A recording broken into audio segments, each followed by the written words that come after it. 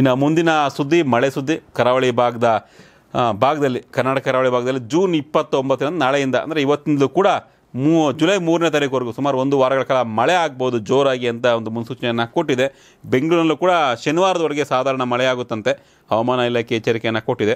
ಹವಾಮಾನ ಇಲಾಖೆ ಇತ್ತೀಚಿನ ಮುನ್ಸೂಚನೆ ಪ್ರಕಾರ ಜೂನ್ ಇಪ್ಪತ್ತೊಂಬತ್ತು ಗುರುವಾರದಂದು ಕರಾವಳಿ ಕರ್ನಾಟಕದ ಮೂರು ಜಿಲ್ಲೆಗಳಾದ ದಕ್ಷಿಣ ಕನ್ನಡ, ಉತ್ತರ ಕನ್ನಡ ಮತ್ತು ಉಡುಪಿ ಈ ಮೂರು ಜಿಲ್ಲೆಯಲ್ಲಿ ಅತಿ ಹೆಚ್ಚು ಮಳೆಯಾಗುವ ನಿರೀಕ್ಷೆ ಇದೆ ಗುರುವಾರದಿಂದ ಸೋಮವಾರದವರೆಗೆ ಈ ಪ್ರದೇಶದಲ್ಲಿ ಭಾರಿ ಮಳೆಯಾಗುವ ಸಾಧ್ಯತೆ ಇದೆ ಅಂತ ಹವಾಮಾನ ಇಲಾಖೆ ಮಾಹಿತಿಯನ್ನು ಜೊತೆಗೆ ಎಚ್ಚರಿಕೆಯನ್ನು ಕೂಡ ಕೊಟ್ಟಿದೆ.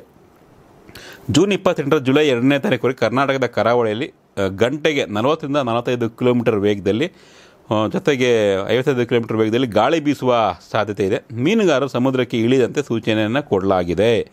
ಗುರುವಾರ ಮತ್ತು ಶನಿವಾರದ ನಡುವೆ ಬೆಂಗಳೂರು ನಗರ ಮತ್ತು ಬೆಂಗಳೂರು ಗ್ರಾಮಾಂತರ ಜಿಲ್ಲೆಗಳಲ್ಲಿ ಅಲ್ಲಲ್ಲಿ ಮಳೆಯಾಗುವ ಸಾಧ್ಯತೆ ಇದೆ. ಅಂದರೆ ಗುರುವಾರದಿಂದ ನಾಳೆಯಿಂದ ಶನಿವಾರ, ಭಾನುವಾರದವರೆಗೂ ಕೂಡ ಬೆಂಗಳೂರು ಸುತ್ತಮುತ್ತ ಮಳೆಯಾಗುತ್ತೆ. ಸೊ ಮಳೆ ಬರುತ್ತೆ. ಮುಂಗಾರು ಮಳೆ ಶುರುವಾಗಿದೆ. ಹಾಗಾಗಿ ಮಳೆ ಸಹಜವಾಗಿ ಬರುತ್ತೆ. ಕರಾವಳಿ ಮತ್ತು ಪಶ್ಚಿಮ ಘಟ್ಟದಲ್ಲಿ ಮಲೆನಾಡಲ್ಲಿ ಮಳೆ ಜಾಸ್ತಿ ಆಗುತ್ತೆ. ಸೊ ಬೆಂಗಳೂರು ಭಾಗದಲ್ಲಿ ಕೂಡ ಈಗ ಮಳೆ ಶುರುವಾಗುತ್ತೆ ಅನ್ನೋ ಒಂದು ಎಚ್ಚರಿಕೆಯನ್ನು ಕೊಟ್ಟಿದ್ದಾರೆ. ಮಳೆ ಬರಲಿ.